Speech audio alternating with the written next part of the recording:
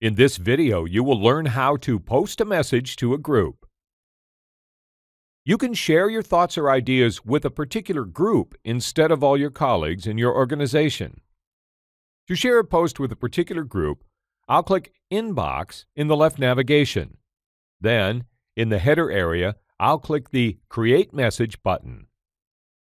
In the Create a Message pop-up, under the Post in a Group tab, I'll select a group to which I want to post a message and I'll enter a message. I can select specific people in this group if I want to notify them about this message. To do that, I'll enter their names in the People box. Note that you can also add files or topics to the post. For now, I'll click Post and you can see that the message has been posted to the group. In this video, you've learned how to post a message to a group.